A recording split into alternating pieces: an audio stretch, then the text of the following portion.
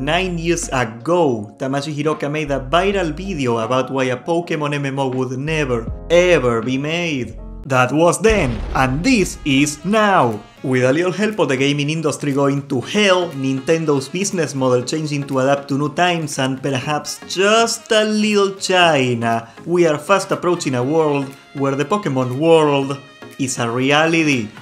And who could blame you for wondering why a Pokemon MMO doesn't exist already? It seems like a no-brainer, traveling the world to collect pets is what you're already doing in World of Warcraft instead of touching grass. Well, there are many reasons why this hasn't been the case yet, and strangely enough, it seems like time is knocking them down one by one. The first obstacle in the way for a Pokemon MMO was actually Nintendo themselves. Yes, the Nintendo of yesteryear would have never accepted such a project.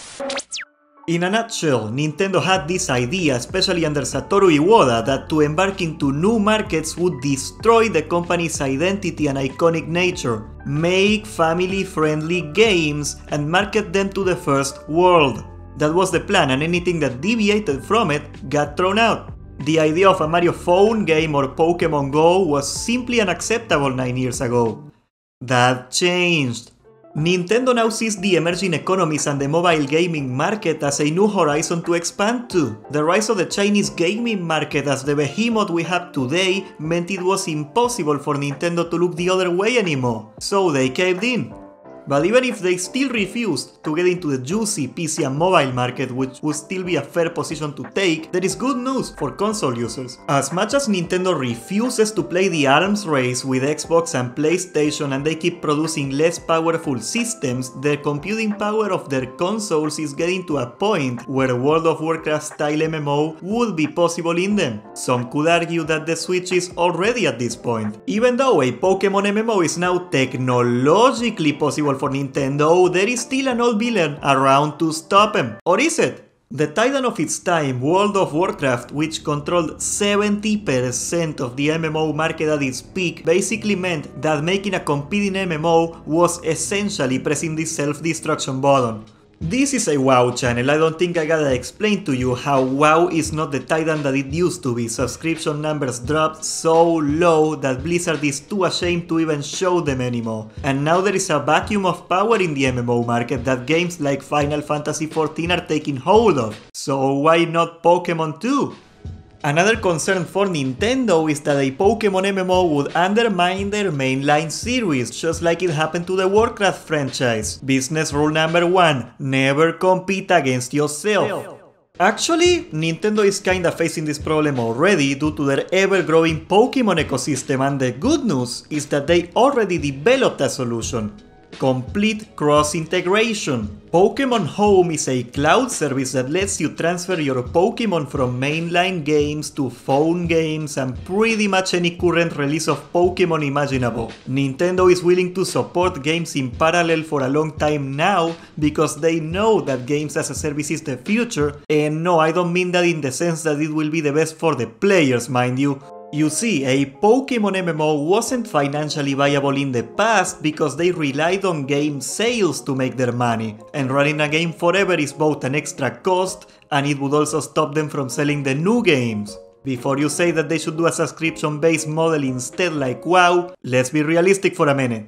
The overwhelming majority of the Pokemon player base is kids, and most kids do not have 15 bucks a month to throw into this. That is soul business, homie. EA devised a brilliant monetization strategy anyway, and that as you know is called microtransactions. Sell some crap in the game for real money and most people will not pay a dime for it, but it will be so beyond effective for the top 1% of spoiled kids, aka whales, that the developer will make their money back, sometimes even more so than a subscription game would. Nintendo proved with their Mario Kart phone game that they are not above this anymore. So even if I'm not happy about it, that does mean that a Pokemon MMO is now financially viable for them. There is another barrier though, and that one is parenting.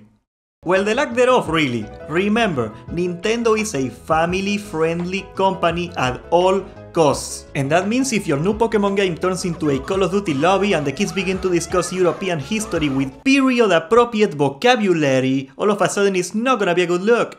A group of bored housewives might even riot at Congress to burn the entire nation of Japan because America. And as online games become more common even within younger audiences, parents may be more accepting of kids playing these games, but let me warn you, if the last Minecraft update is anything to go by, some big action is gonna be taken to censor the chats of these games. I mean, I cannot use gamer speech in a kid's video game, man. Literal 1984, man. It is fair to say that Nintendo will find a way to not go the way of Habbo Hotel. Investigating the site over a period of months, this program has discovered that users, some as young as nine, are bombarded by explicit chat and regularly propositioned to strip. strip one huge issue is that Pokemon has one of the most diverse player bases of any franchise and while that gives them a huge market, that also makes it very hard to market too. MMOs used to be extremely niche, males between 25 to 35 and that was it. It makes perfect sense why Nintendo didn't want to make an MMO 10 years ago as they would have alienated a younger and female audience. But nowadays, games like Final Fantasy XIV got a whole new demographic of players into MMOs. I don't want to keep feeding the meme that Final Fantasy is for the Tumblr demographic, but it is true that the types of people that play it are way different from the ones that played say World of Warcraft or EverQuest. And that's good.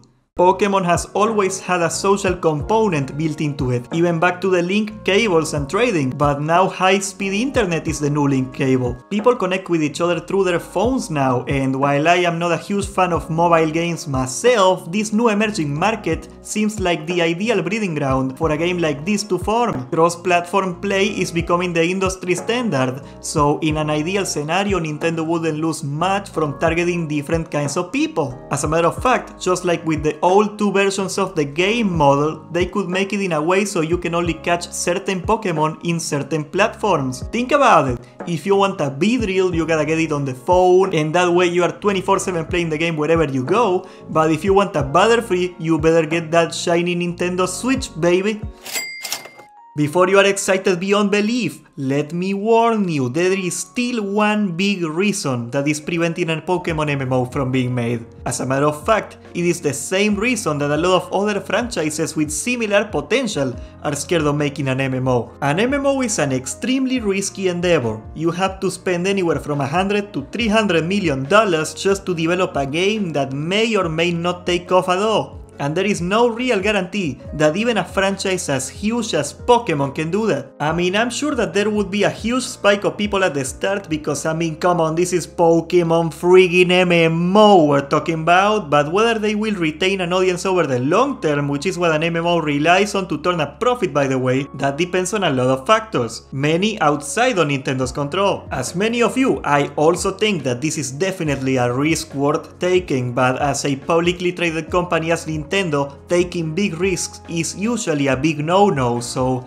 I guess only time will tell. And may Arceus strike you down if you do not subscribe right now.